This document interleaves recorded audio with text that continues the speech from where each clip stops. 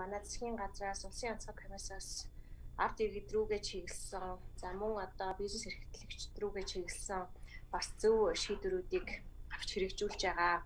А одоо яг бизнес эрхлэгчтэй ярихаар одоо нэг л асуудал байна гэж үзэж байгаа. Энд бол одоо энэ зах зээл эдийн засгаа мөнгөжүүлээч гэж ан зах зээл рүү ерөөсөө мөнгө гарахаа байжлаа.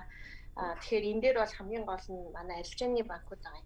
Тэгэхээр энэ дээр манай Монгол банк нэлээд санаачлагтай ажиллаад арилжааны банктайгаа хамтраад хэрвээ одоо та бүхэн энэ эдийн засаг руугаа жижиг дунд үйлдвэрүүд рүүгээ бизнес рүүгээ мөнгө гаргахгүй бол энэ муу зээлийн хэмжээ чинь нэмэгдэхээс гадна энэ бизнесүүд дампуураад ирээдүйд дахиад зээл авах тийм боломжтой компани багаснаа. Тийм учраас эндээс санаачлагтай ажиллаач гэдэг тал дээр би бол хэлж байгаамаа. Тэгжээж бид нэр ирээдүйн эдийн засаг энэ санхүүгийн тогтолцоо бүх юм аврах юм аа. Тэгэхээр энэ дээр Монгол банк илүү санаачлагтай ажиллаад банкныхаа холбооттой уулзаад одоо дахиад өшөө ажлууд хиймээр байгаамаа. За хоёрдугаарт энэ Судатар сайд мэдж байгаа манай Сэлэнг аймгийн Сэлэнг энерго орон нутгийн өмчт улсын үйлдвэрийн газар сарын өмнө би танд мэдээллийн явуулан албан бичиг явуулсан 1.6 тэрбум төгрөгийн өртөө байгаа гэсэн одоо өөр нүшээ нэмэгдээд байна л та. Энэ дээр яг авсан арга хэмжээ байна уу? Одоо сар болж юм л та миний альбан бичигт хариу ерөөсөө ирэх байгаа. Энэ асуудал за 3 дугаарт энэ хамгийн сүүлд авсан мэдээгээр цагаан давааны төвлөрсөн хогийн цэгийн ажилтнаас ковид илэрсэн гэж байна. Тэгэхээр энэ хог хаягдлын асуудал дээр одоо санаа зовох зүйл байгаа юм биш үсттэй. Та бүхэн энэ эмнэлгийн хог хаягдал те энэ хог хаягдлын одоо тий ариутгал халбаржуулалт хийж байгаа юу энэний одоо стандарт дүрм журмууд мөрдөгдөж байгаа юу энэ дээр одоо санаа зовсон байгаа. Тэгэхээр ийм хэдэн асуудал байна.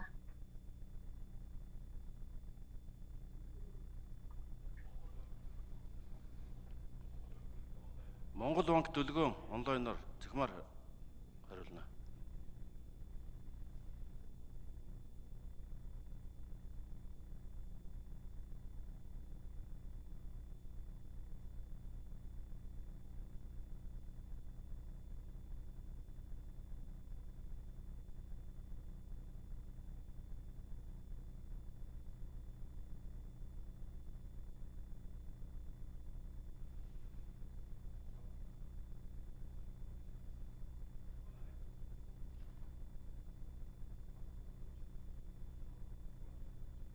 Микрофон нэ.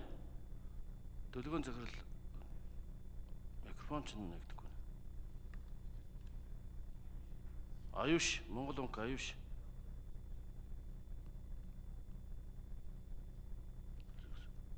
Аюуш микрофон нэ. Микрофон нээлттэй байна. За. Сонсогч байна уу? Сонсож байна. Хариулъя. Аа, ундрам гишүүний асуултанд хариулъя. Төв банкны тухай хуулийн дагуу бид нар холбогдох хуулийн дагуу ковидын хуулийн дагуу арга хэмжээнүүдийг аваад явж байгаа.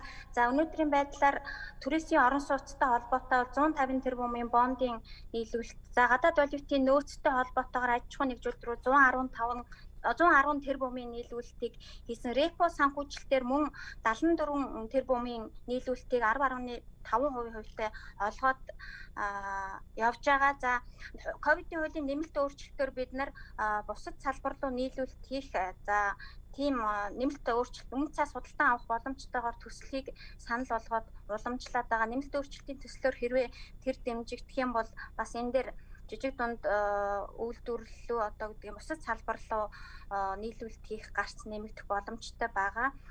За